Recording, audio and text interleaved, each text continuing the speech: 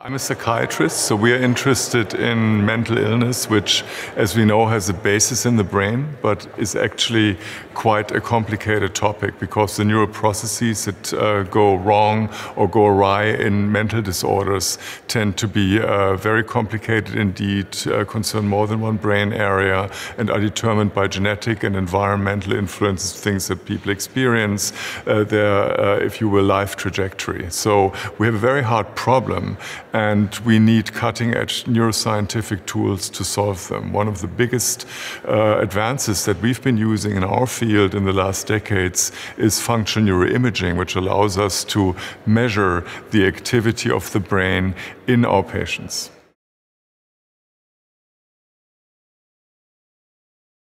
For example, we have been looking at the way certain genes that increase your risk for mental illness work in the brain. So we have discovered that single genetic variants that are associated with the disorder schizophrenia change the way in which the two hemispheres of the brain communicate with each other, which two parts of the brain, the prefrontal cortex and the hippocampus, both of which are important for mental disorders, are communicating with each other to create that genetic risk. And for another example, we've used the same logic to look at environmental exposures that increase your risk for mental illness. One that we've been interested in is being born and living in a city, which we know increases risk for mental illness quite a bit. And there we have also found specific brain areas whose processing during social stress is abnormal in people who live in cities and have linked that to the risk that that environmental exposure entails.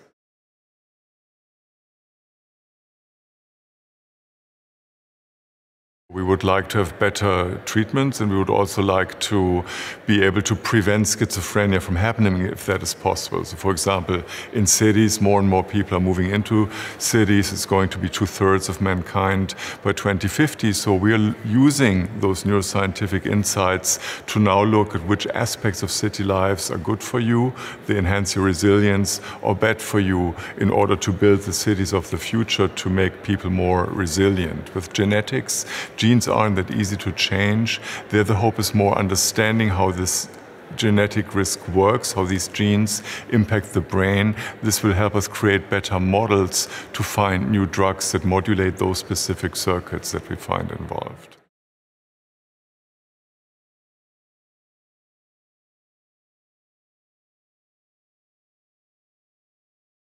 I actually started my own thesis in doing neurochemistry. So we were looking at a specific receptor in blood, and uh, then at some point you realize that you can't really do justice to the complexity of the brain but trying to look at just like one molecule on, on a cell type. You really need to be able to characterize the brain in its uh, differentiated architecture and the way all these myriad regions talk to each other. So that motivates an interest to go to systems neuroscience approaches, as we uh, call them. So looking at the entire brain and its function and structure, characterize that, because then you have a level of description that you can actually relate to normal behavior, but also the abnormal or the disorganized behavior that we see in our clients.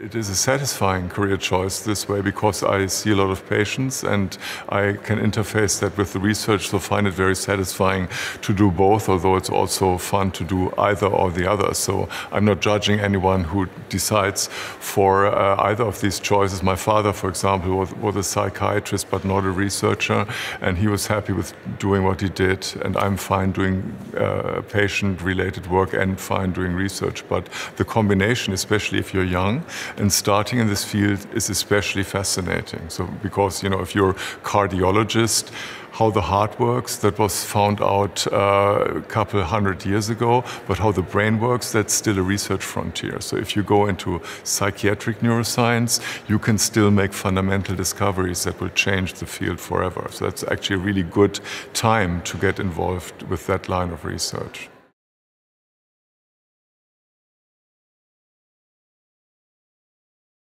Nikos Logothetis has been foundational in trying to understand how what we measure in uh, the kind of techniques we've described, functional imaging, really relates to what the brain does. Because ideally, you would like to really measure the electrical currents of the individual neurons, but that's not really what you're doing. What you're doing in functional imaging, you're looking at the effects that the concerted activity of many tens of thousands neurons have on the way the blood flows into the brain, in which those uh, cells are being supplied by oxygen.